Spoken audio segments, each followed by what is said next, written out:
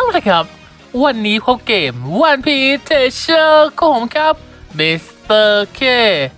วันนี้ครับข่าวสารของกาชาใหม่ อีเวนต์ใหม่สิ้นเดือนครับได้มานะครับ ซึ่งอย่างแรกนะครับ ผมรู้สึกว่าฉากมันเปลี่ยนไปหรือเปล่า ฉากหลังเนี่ย มันเปลี่ยนไปใช่ไหมเออใช่เนาะ คือเพิ่งสังเกตนะครับรู้สึกว่าฉากหลังเปลี่ยนไปนะ ก็ ข่าวสารครับตัวใหม่ในรอบนี้ครับก็คือเหล่าตัวละครของชูล่อนนะครับหมาแมว สารทหารเสือลอดดี้แล้วก็บีบีนะครับก็เป็นตัวละครของเผ่ามิงเนาะมากันทั้งหมดนะครับรอบนี้นะ กาชาใหม่ครับกาชาของเผ่ามิงร่างชูล่อนนะครับก็จะมาในวันที่ 29 นี้ 10 โมงเช้านะครับ 29 10 โมงเช้านะถึงวันที่ 26 เดือนหน้า 10 โมงเช้านะครับ 29 ถึง 26 เดือนหน้า 10 โมงเช้านะ ซึ่งกาชานะครับเลทออกของใบแดงครับอยู่ที่ 10%นะครับ 10%ก็คือ 2 เท่าเนาะก็เลทใบแดงนั้นก็จะน้อยกว่าพวกกาชาของอ่าโรเจอร์คู่กับกลุ่มหมวกฟางนะครับเพราะพวกนี้นั้นมัน 15%เนาะของเผ่ามิงนั้นอยู่ที่แค่ 10%นะครับ ตัวใหม่ก็จะมีหมา แล้วก็แมวเนาะอินุอาราชิแอนเนโกะมาโมชินะครับร่าง 6 ดาวร่างของชูรอนนะครับแล้วก็จะมี 5 ดาวใหม่ 2 ตัว ก็คือเป็น3ทหารเสือ แล้วก็จะเป็นลอดดี้คู่กับบีบีนะครับ2 ตัวนะ ซึ่งอาสองตัวใหม่เนี่ยผมได้แปลสกิลไปแล้วเนาะในคลิปก่อนหน้านี้นะครับสกิลของ 2 ตัวนี่ครับมันเป็นตัวละครสายไวนะครับการเล่นด่านเน้นไวครับ สามารถตีทะลุเกราะได้ แล้วก็อินุอาราชิเนโกะมามุชินั้น 2 ตัวนี้นั้น ควรจะมีทั้งคู่ครับ ควรจะมีคู่กันเออพูดผิดควรจะมีคู่กันนะครับถ้าหากคุณมีเนโกะคุณต้องมีอินุด้วยคือมันคือคู่กันนะครับ ถ้าหากเล่นพร้อมกันเนี่ยมันจะเก่งมากๆเลยนะครับ แต่ถามว่ากาชาในหน้าเปิดหรือเปล่าครับ เราไปดูตัวหลังตู้กันก่อนนะครับว่าหน้าเปิดหรือเปล่านะ ซึ่งกาชานะครับก็จะแบ่งออกเป็น 3 ตู้เนาะอ่าตู้ ตู้หนึ่งนะครับก็จะมาในวันที่ 29 10โมงเช้าถึงวันที่ 26 10โมงเช้าตู้ 2 ก็จะมาในวันที่ 30 10โมงเช้าถึงวันที่ 26 10โมงเช้านะครับ ตู้ 3 ก็จะมาในวันที่ 1 10โมงเช้าถึงวันที่ 26 10โมงเช้านะครับ ส่วนการเปิดนะครับครั้งที่ 1 3อะ1 2 3 5 6 7 9 11นะครับก็จะได้ใบแดงหรือตัวละครที่เพิ่มเลทออก 1 ตัวนะครับ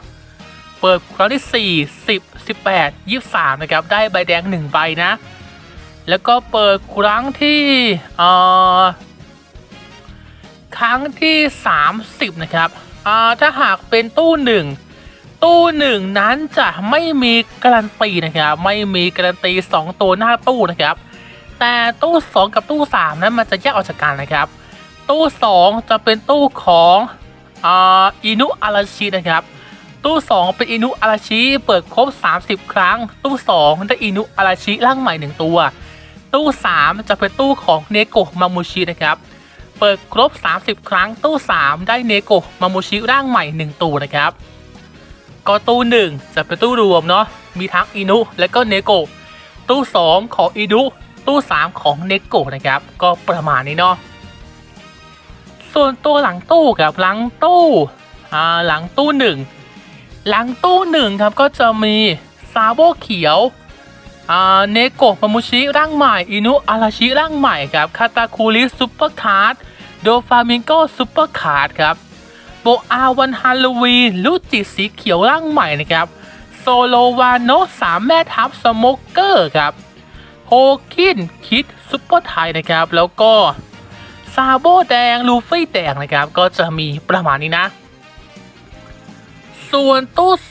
2 ตู้ 2 นะครับ ตู้ 2 ก็จะมีอินุอาราชิร่างใหม่ 6 ดาวครับโรบิน and จินเบย์6ดาวใหม่นะครับ แล้วก็โดฟามิงโก super card เพโลน่าวันฮาโลวีนลูจิสีเขียวร่างใหม่นะครับ แล้วก็มอโกสีม่วงร่างใหม่ โซโลวาโนสามแม่ทัพคิด super type ประมาณนี้ครับ ส่วนตู้ 3 ก็จะมีซาโบกับซาโบเขียวนะครับร่างเก่าอะแต่ที่มันอยู่ด้านบนก็เพราะซาโบเขียวเนี่ย number มันคือ number 5,000 นะครับ มันคือตัวละครที่เข้ามาในเซิร์ฟเวอร์ global ก่อน Japan ไง number เลย 5,000ทำให้มันอยู่ด้านบนสุดนะครับ ซาโบเขียวร่างเก่านะครับ แล้วก็เนโกะมามูชิร่างใหม่ นามิคู่อุซปคาตาคุริ super card นะครับ แล้วก็อ่าโบอาวันฮาโลวีนะครับ แล้วก็แชง vs หนวดขาวด้วยมาเจแลนนะครับ ซันจิ and ลูฟี่นะครับ ก็จะมีประมาณนี้เนาะ อืม ตู้หนึ่งเหรอ ตู้หนึ่งมีครบเลยเนาะ ทั้งหมาทั้งแมวแถมมี super card ครบเลยครับ ทั้งคาตาคุริแล้วก็มิงโก้ด้วย ค่อนข้างจะดูแจ่มอยู่นะครับแถมมีโบอาวันฮาโลวีมีลูจิด้วย ผมคิดว่าตู้หนึ่งน่าเปิดนะ คือมันมีครบเลยอะใหม่ๆอะลูจิโบอามิงโก้คาตา super card หมาแมวคู่ ตู้หนึ่งน่าเปิดนะครับแต่หากถ้าหากคุณต้องการจะเปย์หนักๆเปย์หนักๆเลย แนะนำ เลือกเอาครับว่าคุณอยากได้เนโกะหรืออินุ ถ้าคุณจะเปย์หนักๆนะ เพราะตู้หนึ่งเนี่ยเปิดยังไงมันก็ไม่การันตีหน้าตู้ แต่ตู้ 2 ตู้ 3 เนี่ยเปิดครบ 30 ครั้งมันก็ได้หน้าตู้ 1 ตัวเนาะถ้าหากจะเปย์นะ ส่วนตู้ 2 เหรออ่าจินเบโรบินอินุคาตไอมิงโก คือตู้ 2 กับตู้ 3 เนี่ยมันเหมือนเป็นการเอาตู้ 1 ออกมาแยกออกจากกันเนาะแต่ข้อดีของ 2 กับ 3 ก็คือ 2 กับ 3 นั้นมันจะมีจินเบคู่โรบิน กับอุซบคู่จินเบนะครับเอ้กับอุซบคู่นามินะครับ ก็ประมาณนี้เนาะคือผมแนะนำให้เปิดตู้หนึ่งดีกว่านะตู้หนึ่งมันดูครบกว่ามาดูครบเครื่องกว่านะครับ ทั้งมิงโก้ทั้งคาตา ทั้งลุจิทั้งโบอามันดูครบเครื่องนะครับ แถมหมาแมวด้วย เปิดน้อย แนะนำตู้หนึ่งถ้าหากเปย์ดังหนักสองหรือสามแล้วแต่คุณจะเลือกนะครับ แล้วถามว่ากาชาเนี้ยน่าเปิดหรือเปล่า กาชานี้น่าเปิดหรือเปล่าครับคำถามนี้ครับ คือกาชาเนี้ยมันมาพร้อมกับอีเวนต์อีเวนต์ของแจ็คครับแจ็คแห่งภาระนะครับห้าดาวใหม่เขียวนะครับแจ็คแห่งภาระนั้นมันคืออ่าอีเวนต์ใหม่ ซึ่งเป็นตัวละครใหม่ครับจากอีเวนต์สามารถได้จากการเก็บแต้มนะครับ นี่คืออีเวนต์เก็บแต้มอันใหม่นะครับ ก็จะมาในวันที่ 30 นะครับ 30 10โมงเช้าถึงวันที่ 16 10โมงเช้านะครับ นี่คืออีเวนต์เก็บแต้มนะครับ การเก็บแต้มนั้นเออด่านก็จะมีแบบ4ดาวแล้วก็ 8 ดาวนะครับ ด่านมันเนี่ยไม่ยาก แต่ปัญหาก็คือ ถ้าหากต้องการจะได้แต้มเยอะๆไวๆคุณต้องใส่ตัวละครที่คูณแต้มเข้าไป ซึ่งตัวละครที่มันคูณแต้มส่วนมากเนี่ยมันคือตัวละครใหม่ๆ จากหน้าตู้นี้ทั้งนั้นนะครับ ถ้าหากต้องการจะเล่นอีเวนต์ของแจ็คให้ได้รางวัลไวๆเก็บคะแนนไวๆเล่นง่ายๆอะแนะนำควรเปิด ถ้าหากยังตัดสินใจไม่ได้ แนะนำรอก่อนครับ เพราะมันจะ 7 ปีแล้ว ผมไม่รู้ว่า 7 ปีโกโบเนี่ยจะมีอะไรเพิ่มเติมมาหรือเปล่า ตอนช่วงกลางเดือนหน้านะ กลางเดือนกุมภาเนี่ยไม่รู้ว่าอะไรมาหรือเปล่านะครับ ยังไงแนะนำว่าถ้าหากยังลังเล รอฟังข่าวสารก่อนนะครับ เพราะกาชานี้อยู่ตั้ง 1 เดือนเนาะไม่ต้องรีบรอนะครับ ถ้าหากต้องการจะหาตัวละครคูณอีเวนต์ไวๆเปิดซะลังเลรอก่อนนะครับ ส่วนอีเวนต์ของแจ็คอีเวนต์ของแจ็คนะครับ ก็จะมีรางวัลก็คือเป็นพวก ตัวแดง 6 ดาว แล้วก็หินปลด limit ของแจ็คเนาะการเก็บแต้มก็คือให้คุณลงด่านไปเล่น แล้วก็ drop item มานะครับ item แต่ละอย่างก็จะมีคะแนนต่างกันนะครับ อย่างเช่นโคลาหนึ่งแต้ม สมุด3 5แต้ม อะไรประมาณนี้ครับ ก็จะคะแนนต่างกันของที่ดรอปนะ ส่วนตัวละครที่จะคูณคะแนนนะครับ คูณคะแนนเยอะที่สุดก็คือ หมาแมว6ดาวร่างใหม่นะครับ ก็จะคูณคะแนนไป1.6 เท่าเนาะคูณคะแนนรองลงมาก็คือเป็นลอดดี้คู่ BB 5ดาวใหม่ แล้วก็3แม่ทัพนะสามแม่ทัพอาทหารเสือเออทหารเสือนะครับ ก็จะคูณคะแนนไป 1.3 เท่านะครับ แล้วก็จะเป็นหนวดดำครับ หนวดดำฟรีของคิสนาแคลส 5 ดาวบวก คูณคะแนนไป 1.25 เท่า 5 ดาวธรรมดาคูณคะแนนไปแค่ 1.2 เท่านะครับ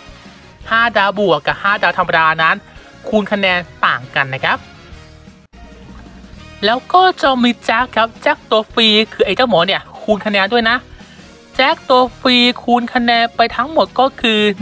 1.15 เท่านะครับ แล้วก็อื่นๆครับอื่นๆ คูณคะแนนไป 1.1 เท่า 6 ดาวก็จะมี มิสทูบอลเคน6ดาวไคโดกลุ่มนะครับ แล้วก็หนวดขาวคู่ลูฟี่กลุ่มใหม่นะครับ แล้วก็อินุอาราชิ and เนโกะมาโมชิร่างคู่นะครับ ร่างคู่ก็คูณคะแนนนะ แล้วก็จะมีอินุอาราชิ 6 ดาวบวก เนโกะมาโมชิ 6 ดาวบวกนะครับ แล้วก็น้องต่าย 6 ดาวบวกด้วย เนโกะอินุน้องต่าย 3 ตัวนี้นั้น ต้อง 6 ดาวบวกนะครับ ถึงจะคูณคะแนนนะ 6 ดาวธรรมดาไม่คูณคะแนนนะครับ แล้วก็ 5 ดาวอื่นๆอีกมากมายนะครับ ก็ประมาณนี้เนาะก็เป็นอีเวนต์การเก็บแต้มซึ่งผมขอคาดเดาไว้นะครับ ว่าถ้าหากคุณไม่มีเนโกะหรืออินูร่างใหม่นะ ใช้น้องต่าย ผมเชื่อว่าด่านเนี้ยมันจะเจอกับ buff เกราะ barrier เกราะนู่นเกราะนี่เยอะมากๆครับ เพราะเนโกะแออินูร่างชูรอนเนี่ยสองตัวนี้นั้น กัปตัน มันสามารถทำให้การโจมตีทุกอย่าง เป็นการโจมตีแบบทะลุเกราะป้องกันได้ ผมก็เลยเชื่อว่าการโจมตีทะลุเกราะป้องกันนั้นอีเวนต์ของแจ็คมันต้องมีมาครับเกราะหนาเกราะเยอะๆต้องมา ถ้าหากไม่มี 2 ตัวหน้าตู้ใหม่อินุกับเนโกใช้น้องต่าย 6 ดาวบวกครับ เพราะน้องต่ายนั้นก็สามารถตีทะลุเกราะได้เหมือนกันนะครับ ก็พอจะใช้แทนกันได้อยู่ แน่ๆนะครับ แล้วก็รางวัลล็อกอินเข้าเกมแจกเพชรเนาะก็ประมาณนี้ครับก็เข้าเกมทุกวันแจกเพชรทุกวันเนาะอีเวนต์ข่าวสารก็มีประมาณนี้เนาะกาชาใหม่ สิ้นเดือนนะครับ นี่ยังไม่ใช่กาชา 7 ปีนะ ผมไม่รู้ว่า 7 ปีเนี่ยจะมีอะไรมานะครับยังไงก็รอฟังข่าวกันนะครับ กดไลค์กดแชร์กดตามเพื่อเป็นกำลังใจให้ผมนะครับนี่คือแพ้สวัสดีครับ